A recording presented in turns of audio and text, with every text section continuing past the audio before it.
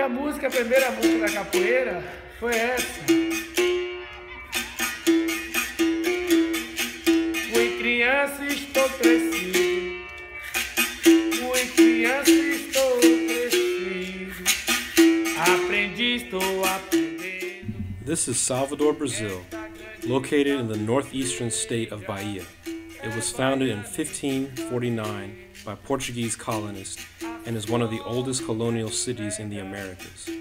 Salvador was the first slave port in the Americas, and millions of people from Africa were taken there as slaves to work in homes, plantations, and gold mines.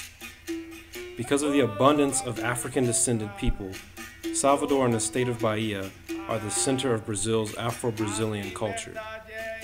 Many of the people from Africa that were taken to Brazil were from the present day nation of Angola.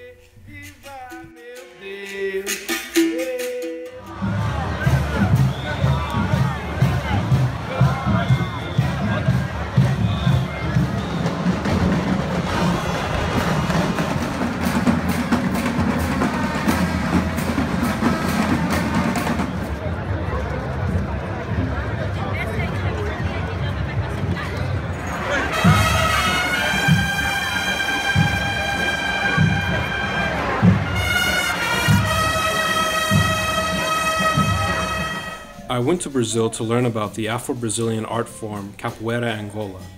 It is a type of martial art that uses dance and fight movements and is performed by two people within a roda, which means circle. Capoeira Angola was developed in Brazil from a combination of cultural traditions from people of Angola and the Congo who were brought to Brazil as slaves. The performance of capoeira is accompanied by a small orchestra of instruments. The primary instrument is the berimbau, which is a musical bow instrument that originates from Angola.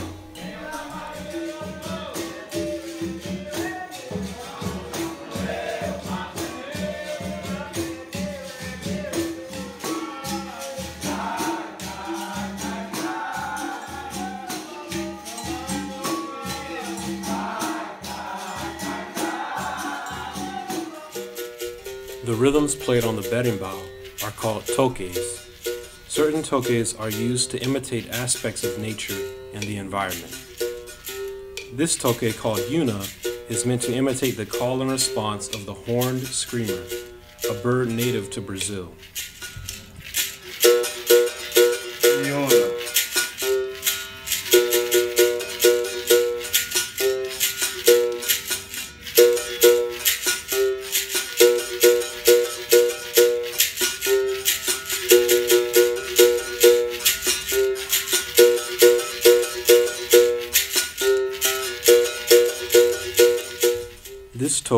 Called cavalaria, was created during the time when the practice of capoeira was illegal in Brazil. Its rhythm imitates the sound of Brazilian police patrolling the streets on their galloping horses. It was played to warn other capoeiristas of the approaching police cavalry.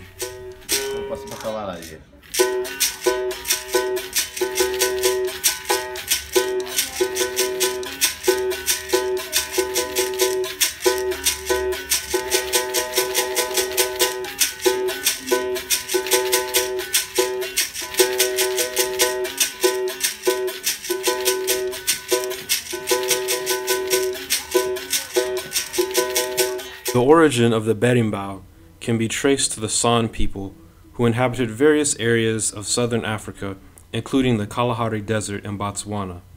The 1971 documentary Bitter Melons features a blind San musician named Ukshone who plays the musical bow and composes music about daily life and his environment. The San also play music that imitates the movements of animals.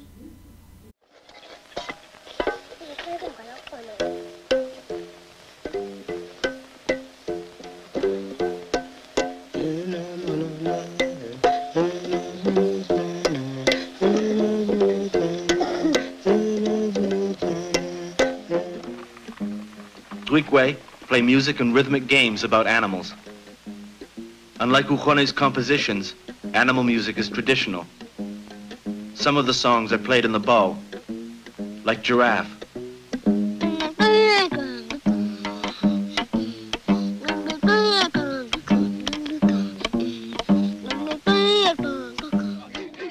The San are also shown doing the ostrich courting dance, which features movements that are similar to capoeira and follows a mixed meter pulse of 6-8.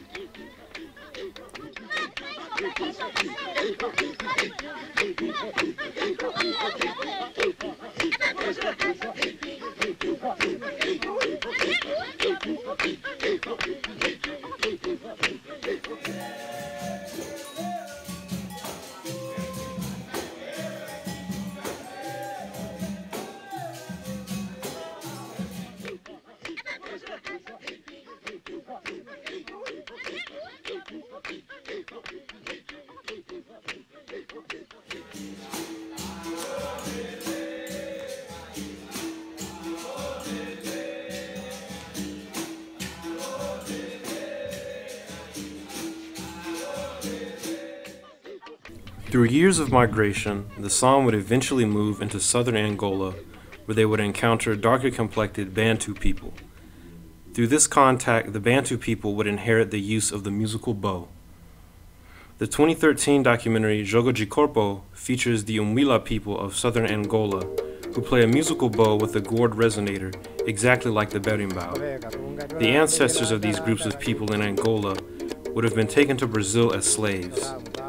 Several other rhythms played by the San and the Umwila are in complex meters with time signatures of 5-4 and 7-4.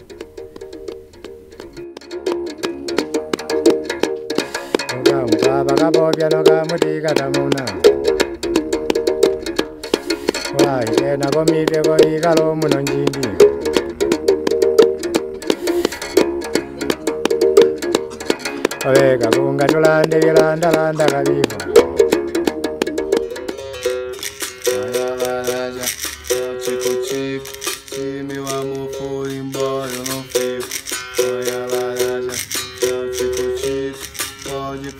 ou com os pés ou com o bico. Ayabaraja, tico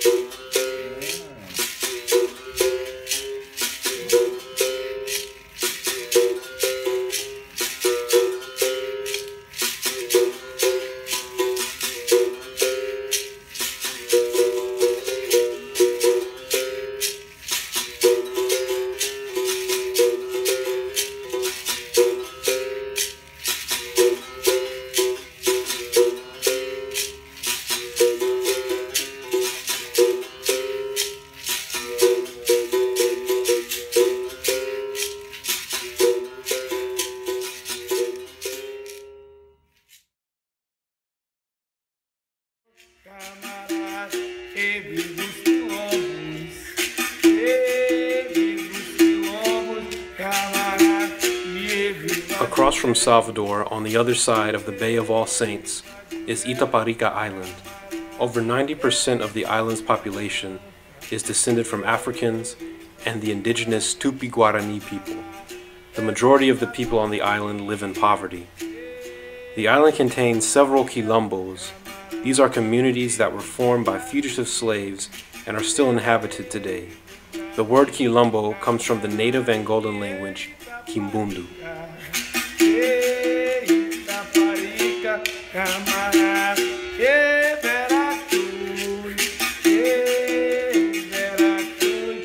I went to Itaparica to learn about the history of capoeira from a capoeira master named Haiteldo Berimbau, who lives in Quilombo Terere. He runs his own association of art and culture, where he teaches the youth in the community how to practice African rooted art forms like capoeira and makulele and play the musical instruments associated with them. He does all of this free of charge to his students.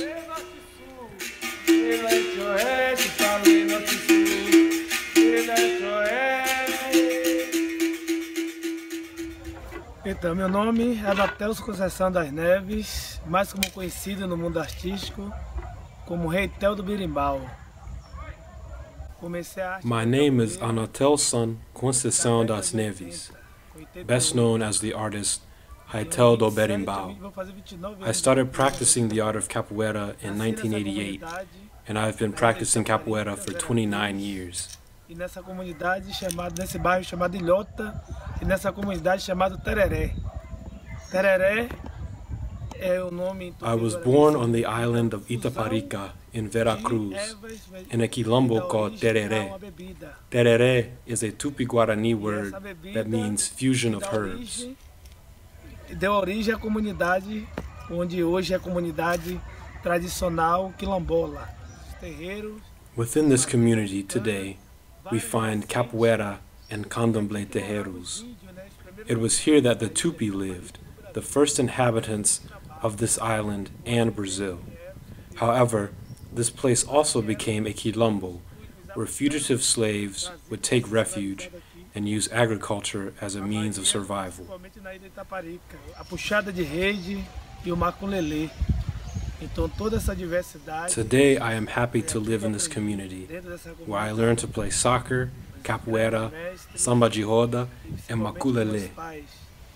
Uns que vieram da guerra dos canudos e morreu com 116 anos minha avó. E aqui onde tá In this community, we find a source of energy, because here is the true quilombo, where we step on clay and earth, breathe better air, and feed on what we plant in the earth. planta e se alimenta da terra. Então isso tudo é fonte de nosso antepassado, do povo que plantou e viveu aqui. All of this is inherited from our ancestors, from the people who planted and lived here. Here we find and produce the material needed to make the berimbau, the beriba wood, and the gourd. Here we learn how to make the instrument, tune it, and conduct the roda de capoeira. Todo, todo esse material, então a gente produz aqui na próprio quilombo. E aqui a importância de Hytel sat down with. Rubens and I to demonstrate some of the instruments played in Capoeira Angola and also explain the history of the art form.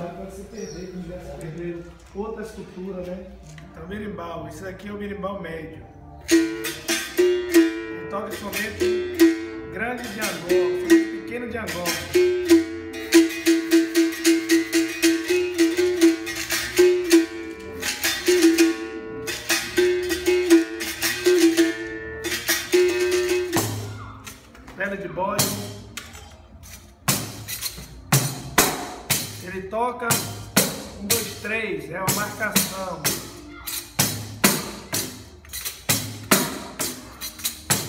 Não o cachuchi, então ele toca igual a igual a gogô. Dois, três, quatro. Dois, três, quatro.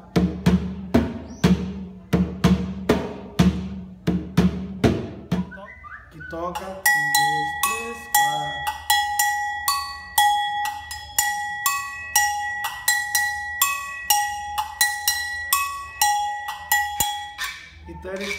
dois, três, como ele toca um, dois, três, quatro. Então é o instrumento mais baixo que tem na capoeira Angola, no Brasil. E vieram de vários continentes, né? Africano, Moçambique, Angola e, e outros. E, e esses próprios capoeiristas Angola, os angolanos, The Africans who were brought to Brazil to be enslaved came from various parts of Africa, including Mozambique and Angola. But the people of Angola were primarily taken to the region of Bahia to work on sugarcane, coffee, and tobacco plantations. fugir para mata chamada capoeira, um lugar que tinha uma mata rala, um mato bem rasteiro, e aí ele começou They went into the woods to practice a fighting style that had no name at the time. This was essentially the first capoeira. E rodo, rolo. Ele viu os índios também lutando, se agarrando, eles também criou a forma. This fight was more like capoeira Angola because the movements were executed near the ground, as we do in Capoeira Angola today. O próprio movimento The name Capoeira de Angola emerged because it was associated with the Angolans. animais se comportavam, eles olhavam e começavam a praticar um com o outro. The Angolans copied movements of animals and nature, such as the flexibility of bamboo. They also observed the movements of the indigenous Tupi people. From these elements, they were able to create capoeira. Os, o- o- os negros da capoeira, quer dizer, o negro que correram para a capoeira, ele se tornou. They also added movements from the Samba Jibatuki, a fight where two fighters kicked each other's knees and legs in an attempt to destabilize the other. The one who was still standing continued in the circle, and the one who fell moved to the outside. capoeira vieram para cá e dentro de uma luta, dentro do mato, eles criou uma, uma- um jogo When the overseers, slave masters, and landowners realized that these fighting styles were dangerous and can be used against them, the slaves began to camouflage the fight as a dance. Eles, dentro dessa arte ele começou a criar essa, essa. They would practice games called Game of the Leg, Game of the Head, and Game of the Hand, and thus would arise the dance like movements of capoeira. However, essa luta era this dance fight could kill luta era tão because the kicks were dangerous. para a defesa dele, do corpo da alma. Então, além de ser uma luta, ele também era uma More and more slaves joined the practice of capoeira as the art form spread to urban areas. Porque ninguém se machucava porque ele sabia como cair. Como se entrar, With the abolition of slavery in 1888 and the subsequent discovery of gold, the blacks were freed, but they had nowhere to go and had no education because they were enslaved. Pastinha, que foi o, o, o defensor ou foi o protetor da perícia jogando, era morto ou era preso. The blacks were also able to use capoeira as a form of combat, so the practice of capoeira became illegal and was punishable by the police cavalry.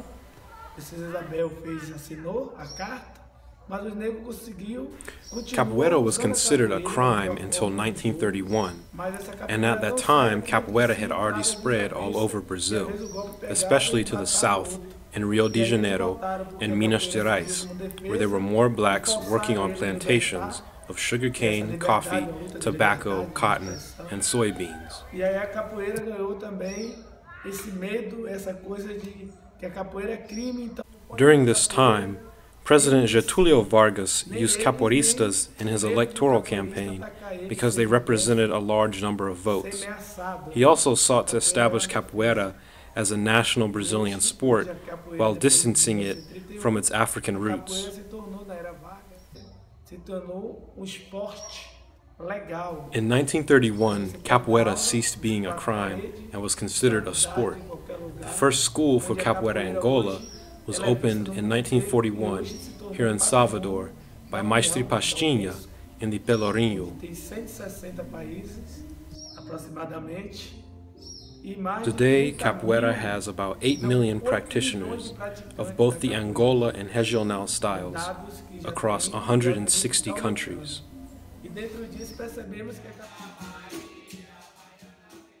Before our departure from the island, the people of Quilombo Terere showed us the beauty of the movements of Capoeira Angola.